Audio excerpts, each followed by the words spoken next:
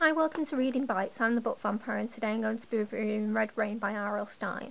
Now, if R.L. Stine sounds familiar to you, um, he should do. Um, if you're born in the 80s or 90s, you probably read one of his um, many series like Goosebumps, Fear Street, or, you know, Point Horrors. I know I did, I read hundreds of them. Um, he wrote books like The Haunted Mask, um, Monster Blood, and the Babysitter series, which I'm pretty sure like most girls will have read at least one of these books. They were absolutely everywhere, including a TV series.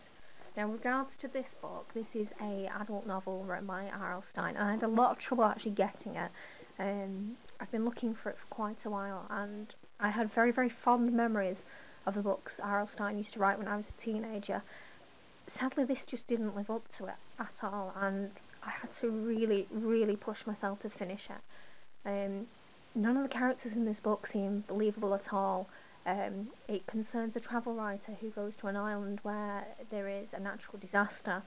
Um, in the wreckage of all this, she comes across twin boys who are covered in this red rain that's happening.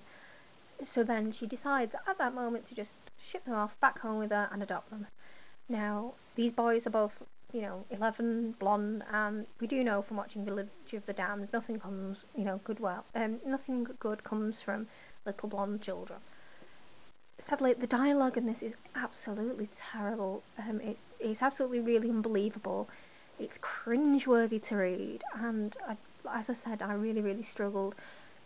Just turning the page was terrible. Um, I really didn't enjoy it, and I'm really disappointed, especially all the effort I went to buying this book, you know, hunting this down and buying this book.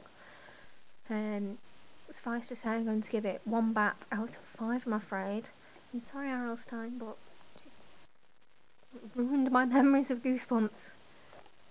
For next week's book, I'm going to be reviewing Stephen King's The Shining. Thank you for joining in. Bye bye.